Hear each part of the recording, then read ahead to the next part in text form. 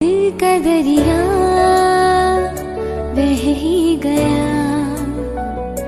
इश्क इबादत बन ही गया। खुद को मुझे